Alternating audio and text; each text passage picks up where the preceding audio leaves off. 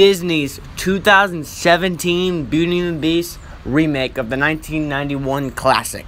This trailer is amazing. Like it, they really, really transfer for, transfer it well, especially the Beast and Cogsworth. I think that's his name. The the, the clock, the candle, and the and the little uh, teapot.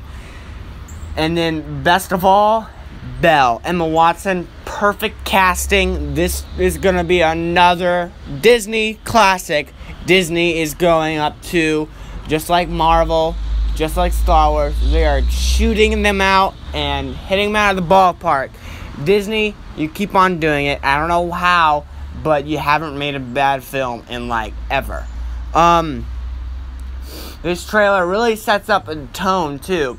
It opens it up like you know it's scary. Like the beast is scary. He's clawing the paintings and he's clawing the door open, and then you see the beast and you're like, that's pretty. He's huge too in the, in the trailer. He's a huge beast.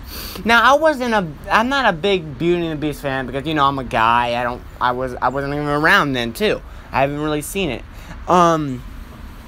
But this makes me want to go back to the classic and see it and watch it again. I've seen it, but I barely remember it because it was a long time ago. And then Gaston, he was okay though. Other than that, the trailer's amazing, and I love what they did with the, um, you know, transfer of the classic Disney castle to from animated to live action. That was great. Um, and then again, Cogsworth, I think his name, the candle was great. Like and I, perfect ca- casting too. Perfect casting. Ewan McGregor as the candle, and um, Ian Ian, Ian McKellen as the clock, and then I don't know, and then um, Emma Thompson as the teapot. I I think. Um, great movie and good job Disney. You got another hit on your hands. You keep on doing it. Um, and everything looks so beautiful in the trailer. Like every like like the outside looks beautiful. The castle looks beautiful. They I don't know how they try to do it, make it that beautiful, but they do. And they killed it with um with the remake of uh, Jungle Book. They're gonna kill it with Beauty and Beast. They're gonna do a great job.